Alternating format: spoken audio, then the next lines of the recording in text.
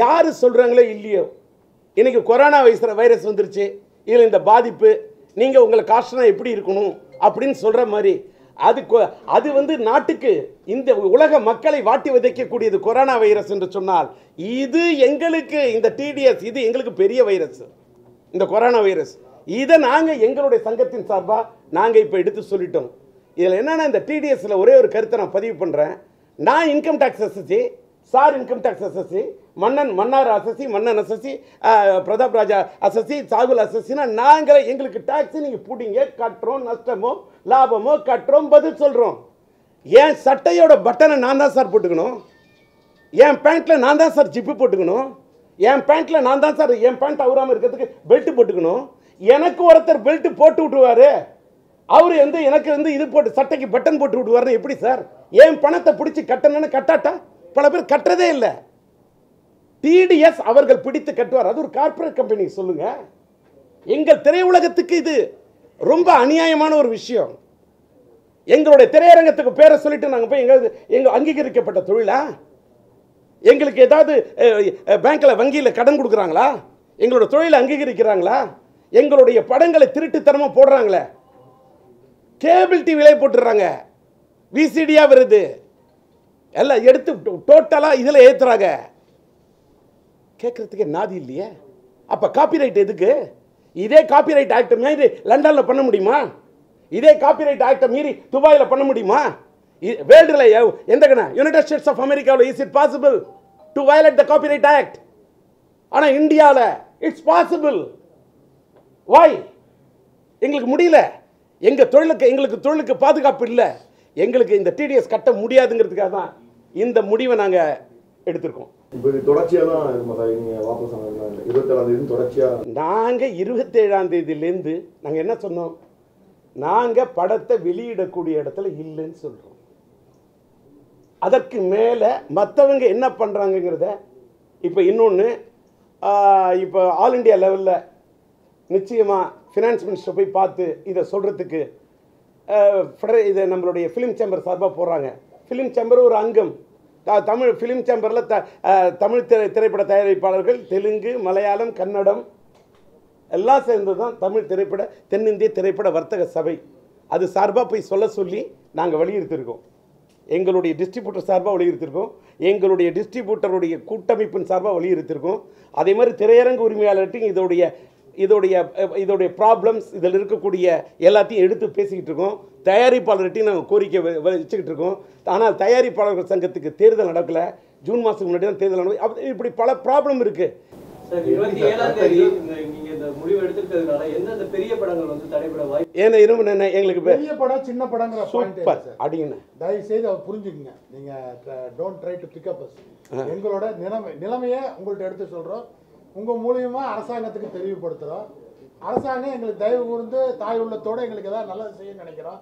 எங்களால் இந்த டிடிஎஸை கட்ட முடியாதுதாங்கிறது எங்களோட அல்டிமேட் கோரிக்கையை ஒழிய வேற இதில் பெரிய படம் சின்ன படங்கிற கோரிக்கை கிடையாது. அதனால தான் நாங்கள் மார்ச் இருபத்தி ஏழாம் தேதி அந்த வெள்ளிக்கிழமையிலிருந்தே நம்ம பண்ணக்கூடாது. ஏன்னா வெ- ஒண்ணாம் சொன்னோம்னா அந்த வாரம் ஏதோ ஒரு வெள்ளிக்கிழமை ஒரு படம் ரிலீஸ் ஆயிருக்கு சின்ன படம் ரிலீஸ் ஆயிருக்கு. ஒரு மூணு நாள் ஓடி அந்த படம் நின்றுட்டா கூட பாதிப்பு ஏற்பட்டுருங்கிறதுனால தான் மார்ச் இருபத்தி ஏழாம் தேதி கட் ஆஃப் டேட் வைக்கிறோம். இன்னைக்கு பத்தாம் தேதி பதினேழு நாள் அட்லீஸ்ட் அவங்களுக்கு ஒரு காஷியஸாக ஒரு முடிவு எடுத்துக்குங்க. இன்னொன்று எங்களுக்கு ச- எந்த எங்களுக்கு எங்களை காப்பாற்றிக்கிறதுக்கு இப்போ உங்கள்கிட்ட சொன்னாலாவது இவங்கெல்லாம் போய் யாரும் சொல்லலை. இப்போ சட்டமன்ற கூட்டத்தோட நடந்திருக்கு. நாங்கள் இங்கே சொல்கிறது மாண்புமிகு தமிழக முதல்வர் ஐயாவுக்கு துணை முதல்வருக்கோ இல்லை எங்கள் சம்மந்தப்பட்ட எங்கள் துறை சம்மந்தப்பட்ட மந்திரிக்கோ போய் எங்களுக்கு ஒரு நல்ல விடிவு காலம் பிறக்கலாம் இல்லையா? அந்த ஆங்கிள் எடுத்துங்க. அதே மாதிரி இப்போ வந்து நாங்கள் நாங்கள் வந்து ஃபினான்ஸ் மினிஸ்டர் அங்கே போய் சந்திக்கிறதுக்கு இல்லை மாண்புமிகு மோடி ஐயாவுக்கே இப்போ இது ஒரு ஒரு எங்களுக்கு it's a way to express our view நாங்கள் சொல்லக்கூடிய சில விஷயங்களில் சில பேர் they're trying to suppress and oppress suppose if are able to help us we can express at least அங்கேயே போய் சேரட்டுமே. சேர்ந்தா எங்களுக்கு ஒரு வழி பிறக்காதா? அப்படின்னு தான் ட்ரை பண்ணுறோம் உங்க துறை அமைச்சரோ இல்ல முதல்வரோ நீங்க நேர்ல பார்க்கறதுல எதுவும் இல்லையா? என்ன ஆகுது? சார் நாங்கள் முறைப்படி சொல்லிக்கிட்டு இருக்கோம் அப்பாயின்மெண்ட் கேட்டுக்கிட்டு இருக்கோம். சந்திக்கிறதுக்கு வாய்ப்பு கிடைச்சா போய் சந்திச்சிருவோம். மீட்டிங் முடிஞ்ச உடனே உங்களை பார்த்துட்டோம். அடுத்த கட்ட நடவடிக்கை எல்லாம் வரிசையாக நாங்கள் தொடர்பாக யாரை போய் பார்க்கணும்? எல்லாம் சேம்பர் பக்கம் போய் பேசணும். இங்கே த த- சம்மந்தப்பட்ட துறை அமைச்சரை பார்க்கணும் முதலமைச்சரை பார்க்கறது. இதெல்லாம் சம்மந்தப்பட்ட அனைத்து வேலைகளும் நடக்கும். இப்போ மீட்டிங் முடிஞ்ச உடனே ஃபஸ்ட்டு உங்களை தான் பார்க்குறோம். எங்களோட தீர்மானம் மார்ச் இருபத்தி ஏழு அப்படின்னு சொல்லியிருக்கோம். ரொம்ப ஒரு இக்கட்டான காலகட்டத்தில் இருக்கிறனால டக்குன்னு முடிவெடுத்து நாளைக்கு ப்ரெஸ்ஸை சந்திக்கிறது கூட முடியாமல் மதியம் தான் இது பண்ணோம். அவசர அவசரம் உங்களை சந்திச்சிருக்கிறோம் நாங்கள் இன்னைக்கு ஒரு இக்கட்டான கட்டத்தில் இருக்கோம். யூ ஷுட் ஹெல்ப் எஸ் நீங்கள் வந்து மீடியா தான் எங்களுக்கு எங்களோட உணர்வை வெளிப்படுத்துங்கிறத உங்களை உடனே கூப்பிட்டோம்.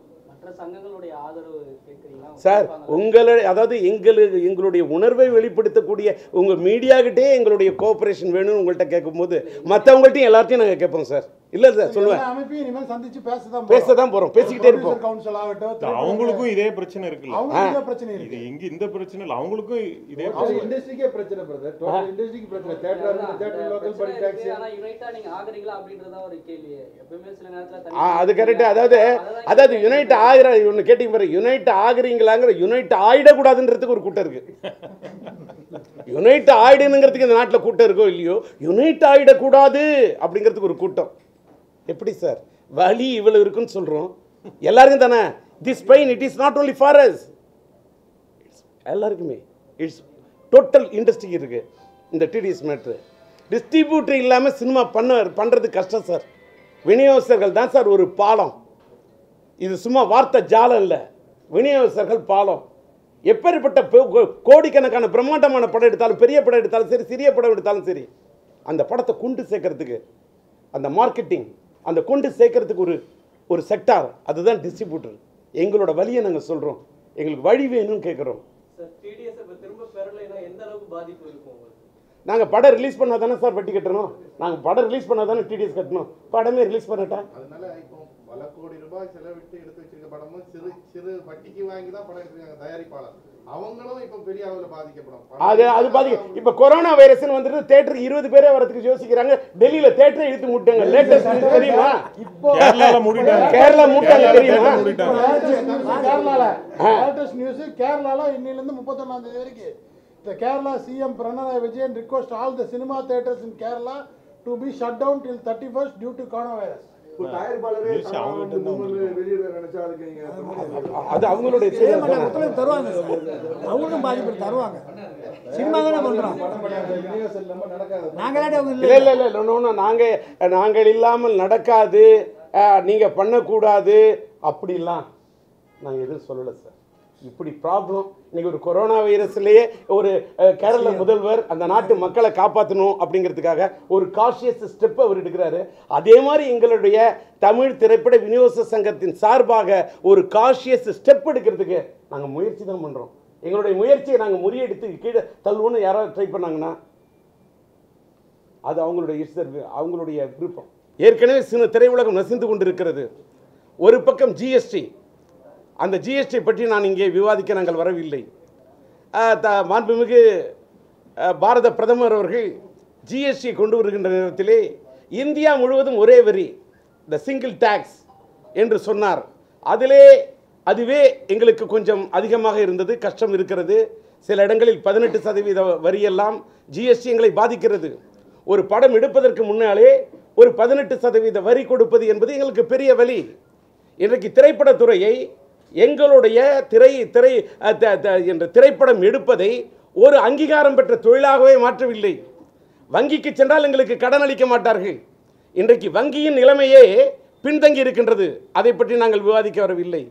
ஆனால் இப்படியெல்லாம் வாடிக்கொண்டிருக்கக்கூடிய சினிமா உலகத்துக்கு யாரோட பொருளை யார் திருநாளும் அதை தட்டி கேட்கறதுக்கு சட்டம் இருக்கும். வெள்ளைக்காரர்கள் கால காலத்தில் போட்ட காப்பிரைட் ஆக்ட் நாங்கள் கோடி கோடியாக பணம் போட்டு படம் எடுக்க வேண்டும். நாங்கள் வரி செலுத்த வேண்டும். நாங்கள் ஜிஎஸ்டி செலுத்த வேண்டும். எங்களுக்கு டிடிஎஸ் பிடிப்பார்கள். நாங்கள் இன்கம் டேக்ஸ் செலுத்த வேண்டும். எல்லாம் செய்து இந்த திரைப்படத்துறையை எங்களுடைய திரைப்படங்களை நாங்கள் கஷ்டப்பட்டு இத்தனை கோடிக்கு படம் எடுத்து திரையரங்குகளுக்கு மக்களை வரவேற்க வேண்டும் என்றால் அத்தனை கோடிக்கு நாங்கள் விளம்பரம் செய்ய வேண்டும். இத்தனையும் செய்தாலும் எங்களுடைய திரைப்படங்களை காப்பிரைட் இல்லாமலே திருட்டுத்தனமாக வெளியிட்டால் அதை தட்டி கேட்க கூட எங்களுக்கு சட்டம் இருந்தாலும் அந்த சட்டத்தை நிறைவேற்ற எக்ஸிக்யூட் பண்ண யாரும் இல்லாத சில நிலைமையிலே இன்றைக்கு சினிமா திரையுலகம் நசிந்து கொண்டிருக்கிறது. ஏற்கனவே டிஸ்ட்ரிபியூட்டர் நாங்கள் ஏன் இன்னைக்கு விநியோக சங்கத்தின் கூட்டமைப்பின் சார்பாக இந்த கூட்டத்தை கூட்டிருக்கோன்னா ஏற்கனவே எங்களுடைய விநியோகஸ்தர் என்ற செக்டார் இன்றைக்கு போராடி கொண்டிருக்கிறார்கள் நசிந்து கொண்டிருக்கிறார்கள் பல கோடி ரூபாய் நஷ்டப்பட்டு கொண்டிருக்கிறார்கள். ஏதாவது சில படங்கள் ஓடி ஒன்று ரெண்டு படம் ஓடி அந்த படத்தில் லாபம் பெற்றவன் சொல்லக்கூடியவங்களை அதிர்ஷ்டசாலிகளாக பார்க்கிறோம். உண்மைதான். அதே வேற படத்தில் போய் அடிபட்டுறாங்க. அப்படி இருக்கக்கூடிய சூழ்நிலை இன்னைக்கு தலையாய பிரச்சனையை நாங்கள் ரெண்டு விஷயத்தை மட்டும் நாங்கள் ஒரு தீர்மானம் எடுத்திருக்கிறோம். அந்த தீர்மானம் என்னன்றா? சொல்லிட்டு எங்களுடைய சங்கத்தின் சார்பாக கூட்டமைப்பின் சார்பாக அத்தனை திரைப்பட விநியோக சங்கம் அதோடைய அதோடைய கூட்டமைப்பில் நாங்கள் எடுத்த முடிவு என்னன்னா first of all number one இந்த டிடிஎஸ் டிடிஎஸ் வந்து எங்களுக்கு ஏற்கனவே நாங்கள் சா அவ்வளோ கஷ்டப்பட்டுக்கிட்டு இருக்கோம். ஒரு படத்தை வெளியிட்டால் திரையரங்குகளில் முந்நூறு திரையரங்கமோ ஐநூறு திரையரங்கு ஒரு- வெளியிட்டால் ஒரு விநியோகஸ்தருக்கு வரக்கூடிய அந்த டிஸ்ட்ரிபியூட்டர் ஷேர் பங்கு தொகையிலே பத்து சதவீதத்தை டிடிஎஸ் ஆக வரியாக பிடித்து அவர்கள் அரசாங்கத்திடம் இன்கம் டேக்ஸ் கட்டணும். அதெல்லாம் அப்புறமா கணக்கு பார்த்த பிறகு அந்த பணத்தை அப்புறமா தான் நாங்கள் வாங்க முடியும். அதாவது டேன் ஓவருக்கு எப்படி சார் டிடிஎஸ் போட முடியும்? ஒரு படம் ஓடி கலெக்ஷன் பெறுகிறது என்று சொன்னால் பத்து கோடினா லாபமா நஷ்டமா? ஒரு ப்ரொடியூசர்கிட்ட தயாரிப்பாளர்கிட்ட நாங்கள் பத்து கோடிக்கு வாங்கியிருக்கிறோம்னா அதுக்கு லாபமா நஷ்டமா நாங்கள் கணக்கு பார்க்கணும். ப்ராஃபிட் வந்தால் தானே அதுக்கு வரி. ப்ராஃபிட்டே வராமல் டேர்ன் ஓவருக்கு வரி போட முடியுமா? வேறு இண்டஸ்ட்ரியில் போய் போட முடியுமா? டேர்ன் ஓவருக்கு வரி. அதுவும் எங்களோட வரியை யார் பிடிக்கிறார்கள்? பத்து கோடி ரூபா டேர்ன் ஓவர் ஆகி ஒரு ஷேர் வருதுன்னா அதிலே பத்து சதவீதத்தை திரையரங்கத்து உரிமையாளர்கள் பிடித்து எங்கள் சார்பாக அவர்கள் கட்ட வேண்டும். அவர்கள் எப்போது கட்டுவார்கள்? எப்படி கட்டுவார்கள்? அப்படி நாங்கள் கணக்கை காண்பித்து எங்களுக்கு நஷ்டம் என்றால் கூட நஷ்டமோ லாபமோ எடுத்ததும் ஒரு பத்து கோடியில் ஒரு கோடி போயிடும். இல்லை ஒரு படம் ஒரு கோடி தான் கலெக்ட் பண்ணால் பத்து லட்சம் போயிடும். அஞ்சு கோடினா ஐம்பது லட்சம் போயிடும். அப்போ எங்களுடைய நிலைமை என்ன? ஏற்கனவே திரைப்பட விநியோகஸ்தர்கள் நசிந்து கொண்டிருக்கிறார்கள் நசுங்கி கொண்டிருக்கிறார்கள். அப்படி இருக்கும்போது இந்த டிடிஎஸ் வரி அந்த வரி பிடித்தத்தை திரையரங்கங்கள் செய்ய வேண்டும் என்று சொன்னால் இந்த விநியோகஸ்தர் துறை என்ற ஒரு துறையே ஒரு தயாரிப்பாளர்களுக்கும் திரையரங்க உரிமையாளர்களுக்கும் இடையிலே ஒரு பாலமாக ரெண்டு பேருக்கு ஒரு இடையில ஒருத்தர் பாலம் இல்லாமல் முடியுமா? இப்போ நான் ஒரு கருத்து நாங்கள் பேசுகிறோம் எங்களோட கருத்து என்ன நாங்கள் நினைக்கிறோங்கிறத மக்கள்கிட்ட கொண்டு போய் சேர்க்கக்கூடியது மீடியா. அதே போல ஒரு தயாரிப்பாளர் ஒரு பிரம்மாண்டமான படமும் இந்த படமும் நல்ல கருத்துள்ள படமும் படம் எடுத்தால் அந்த படத்தை திரையரங்குகளுக்கு கொண்டு சேர்க்கக்கூடியது இந்த டிஸ்ட்ரிபியூட்டர் இந்த இனமே அழிந்து விடும் என்று சொல்லக்கூடிய அளவுக்கு இருக்கக்கூடிய இந்த டிடிஎஸ் இந்த புது புது கணக்காண்டிலே வரக்கூடிய இந்த மார்ச் தேர்ட்டி ஃபஸ்ட் முடிஞ்சு ஏப்ரல் ஒன்றுலேருந்து நாங்கள் கட்டிட்டோம்னா எங்களோட நிலைமை ரொம்ப அந்தரும். நாங்களும் எவ்வளவோ இதை கோரிக்கையை விடுத்து பார்த்துட்டோம். நாங்கள் இந்த என்னுடைய கோரிக்கையை நான் வந்து ஃபிலிம் சேம்பர்கிட்ட கூட தெரிவிச்சிட்டேன். கவர்மெண்ட் ஆஃப் இந்தியாட்ட போய் இதை இது பண்ணுங்கன்னு சொல்லிட்டேன். ஃபினான்ஸ் மினிஸ்டரை பார்த்து பேசுங்கன்னு சொல்லிட்டேன். இந்த கோரிக்கை கொண்டு அங்கே தெரிவி தெரிவித்து விடுங்கள். இது இது நிச்சயமாக டிடிஎஸ் கட்டுனா? எங்கள் திரைப்பட விநியோகஸ்தர்கள் என்ற ஒரு இனமே இருக்காது. அழிந்துவிடும் என்ற கோரிக்கையை நாங்கள் சொன்னாலும் கூட எங்களுக்கு கதவி தட்டுங்கள் திறக்கப்படும் என்று சொன்னார்கள். கர்த்தர் அது அதை தட்டுங்கள் திறக்கப்படும் என்று இயேசுநாதர் சொன்னாரே. அந்த கதவை தட்டி கொண்டிருக்கிறோம். எங்களுக்கு டிடிஎஸ் வேண்டாம் என்று கேட்டுக்கொண்டிருக்கிறோம் எங்களுடைய குரல் எங்கே போய் ஒழிக்கும் தெரியவில்லை. வேறு வழி இல்லாத காரணத்தால் தான் இன்றைக்கு எங்களுடைய தமிழ் திரைப்பட விநியோக சங்கத்தின் கூட்டமைப்பிலே டிடிஎஸ் இருந்தால் டிடிஎஸ் கட்டக்கூடிய இடத்துல நாங்கள் இல்லை. அதாவது த டாக்ஸ் டிடக்ஷன் இந்த சிஸ்டத்தில் நாங்கள் எங்களுடைய எங்களுக்கு வரக்கூடிய டேர்ன் ஓவரை எங்கள் லாபம் கிடையாது. லாபமாக நஷ்டம் எங்களுக்கு தெரியாது. அதுக்கு முன்னாடியே வரக்கூடிய கலெக்ஷன் த டிஸ்ட்ரிப் எங்களுடைய share the so called distributor ஷேரை எடுத்து போய் நீங்கள் பத்து சதவீதம் கட்டால் நாங்கள் தாங்க மாட்டோம். வாட முடியாது. எங்களுக்கு வழி தெரியல. அதனால் இந்த டிடிஎஸ் இருந்தால் எங்களால் திரைப்படத்திற்கு படங்களை வாங்கி வெளியிடக்கூடிய எப்படியுமே வெளியிடக்கூடிய சூழ்நிலையில் எங்களுடைய விநியோகஸ்தர்கள் இல்லை என்ற காரணத்தால் இந்த இருபத்தி ஏழாம் தேதியிலிருந்தே வரக்கூடிய இந்த மாதம் மார்ச் மாதம் இருபத்தி ஏழாம் தேதி முதலே எந்த திரைப்படங்களையும் நாங்கள் வாங்கி வெளியிடுவதாக. வெளியிட்டால் பிரச்சனை. நம்மளுடைய கஷ்டத்துக்கு நம்ம தான் முடிவெடுக்கணும். நாங்கள் இருபத்தேழுலேருந்து படத்தை வெளியிடாமல் பேக் நின்றுக்கிறோம் அப்படின்ற முடிவை எங்களுடைய திரை தமிழ் திரைப்பட விநியோக சங்கத்தின் கூட்டமைப்பு முடிவெடுத்திருக்குது. அதே நேரத்தில் எங்களுக்கு இன்னொரு பெரிய சுமை. மாண்புமிகு பிரதமர் ஐயா சொன்னார் லோக் சிங்கிள் டாக்ஸ் இந்தியா முழுவதும் ஒரே வரி. இந்தியா முழுவதும் ஒரே வரி ஜிஎஸ்டி அந்த ஜிஎஸ்டி கட்டுறோம்.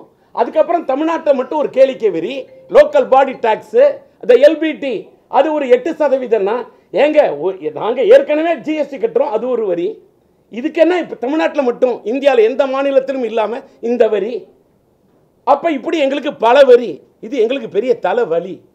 எங்களுக்கு வேற தெரியல வழி. நாங்களும் தமிழ்நாடு நாங்கள் தமிழ்நாடு கவர்மெண்ட்டுக்கிட்ட கிட்ட நாங்கள் போராட இப்போ சட்டமன்ற கூட்டத்தொடர் நடக்குது. மாண்புமிகு தமிழக முதல்வர் எடப்பாடி ஐயா அவர்களுக்கு இதன் மூலமாக நாங்கள் இந்த ரெண்டு டேக்ஸும் எங்களால் நம்பர் ஒன் டிடிஎஸ் கட்ட முடியாது.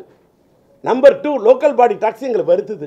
நாங்கள் இருபத்தேழுலேருந்து படத்தை வெளியிட முடியாத சூழ்நிலை இருக்கிறோம். இன்றைக்கு சட்டமன்ற கூட்டத்தோட நடத்திக்கூடிய கொண்டிருக்கக்கூடிய மாண்புமிகு முதல்வர் ஐயா அவர்களுக்கு ஒரு கோரிக்கை வைக்கிறோம். நாங்கள் தமிழக அரசுக்கு எதிரானவர்கள் அல்ல. நாங்கள் எதிர்த்து போராட தயாராக இல்லை. எங்களோட உணர்வை சொல்கிறோம் எங்களுக்கு எங்களால் இந்த லோக்கல் பாடி டாக்ஸ் கேளிக்க வெறி. இந்தியாவில் எந்த மாநிலத்திலும் இல்லையா. ஆனால் தமிழ்நாட்டில் மட்டும் இருக்கிறதே. மாண்புமிகு எடப்பாடி ஐயா அவர்கள் இதை எடை போட்டு பார்த்து. இன்றைக்கு எங்களுக்கு இந்த டாக்ஸை இப்போ கூட்டத்தொடர் நடக்கின்ற காரணத்தால் நானும் ஒரு முன்னாள் சட்டமன்ற உறுப்பினர் என்ற முறையிலே நீங்கள் இப்போயாவது நீங்கள் ஒரு முடிவு எடுத்தா இது இந்த ப- பட்ஜெட் இந்த தமிழகத்தை ஆண்ட முன்னாள் முதல்வர் தமிழக முதல் மறைந்துவிட்ட முன்னாள் முதல்வர் த புரட்சி தலைவர் பொன்மன செம்மல் மக்கள் தலைவர் எம்ஜிஆர் அவர்கள் திரையுலகத்திலிருந்து வந்தவர் திரையுலகத்தை வாட வைத்தவர். அதே போல தமிழ்நாட்டின் திரைப்பட உலகத்திலிருந்து வந்தவர் தான் மறைந்துவிட்ட அம்மா புரட்சி தலைவி அந்த பொன்மன செல்வி அம்மா அவர்கள் முதல்வராக இருந்த அவர்களுடைய வழியில் வந்த நீங்கள் திரையுலகத்திலிருந்து வந்த அவர்கள் அவர்களுடைய வழியில் வந்த நீங்கள் எங்கள் திரையுலகத்தை வாட வைக்க வேண்டும். திரையுலகத்தில் இருக்கக்கூடிய சிலரை பார்த்து ஒட்டுமொத்த திரையுலகத்தை நீங்கள் வாட வைக்காமல் இருந்துவிடக் கூடாது என்ற கோரிக்கை அவர்களுக்கு வைத்து மத்திய அரசுக்கு இந்த டிடிஎஸும் இந்த லோக்கல் பாடி டாக்ஸும் எங்களை வருத்துகின்ற காரணத்தால் எங்களுடைய தமிழ் திரைப்பட விநியோக சங்கத்தின் கூட்டமைப்பின் சார்பாக இருபத்தேழிலிருந்து படத்தை எங்களால் வாங்கி நாங்கள் வெளியிடக்கூடிய சூழ்நிலையில் இல்லை என்ற முடிவை நாங்கள் எங்களுக்கு நாங்களே ஒரு வாலண்டியராக சுயமாக சிந்தித்து சொந்தமாக நாங்கள் அத்தனை பேர் ஒன்று கூடி ஆலோசித்து ஆராய்ந்து விவாதித்து இந்த முடிவை எடுத்திருக்கின்றோம். தமிழ் திரையுலகத்துக்கு இந்தியாவுக்கே இது ஒரு ஒரு ஒரு பெரிய முன்னுதாரணம். இன்றைக்கு முன்னோடியாக சொல்கிறோம். இது இந்தியாவுக்கே இட்ஸ் இது ஒரு பெரிய இது. Prevention is better than cure என்று சொல்வார்கள். வருமுன் காக்க வேண்டும். முப்பத்தி ஓராம் தேதி மார்ச் முப்பத்தொன்று தாண்டிட்டா ஏப்ரல் ஒன்று தொட்டு விட்டால் ஏப்ரல் ஒன் முட்டாள்கள் தினம். இந்த டிடிஎஸ்ஐ கட்ட ஆரம்பித்து விட்டால் ரொம்ப தப்பாயிடும். அதனால் நாங்கள் இந்தியாவுக்கே ஒரு முன்னுதாரணமாக நாங்கள் இந்த முடிவை எடுத்திருக்கிறோம். இது தமிழ் திரையுலகத்தில் இருக்கக்கூடிய மற்ற அனைத்து செக்டாரும் அது தயாரிப்பாளர்கள் என்றாலும் திரையரங்கத்து உரிமையாளர்கள் என்றாலும் இதை நாங்கள் நாங்கள் எடுத்திருக்கக்கூடிய முடிவு ஒரு சிந்திக்கத்தக்க முடிவு இதை அவர்களும் ஆலோசித்து பார்த்து ஒரு சரியான முடிவை எடுக்க வேண்டும் என்று எங்களுடைய தமிழ் திரைப்பட விநியோக சங்கத்தின் கூட்டமைப்பின் சார்பில் அவர்களுக்கு நான் தெரிவித்துக் கொள்கிறேன்.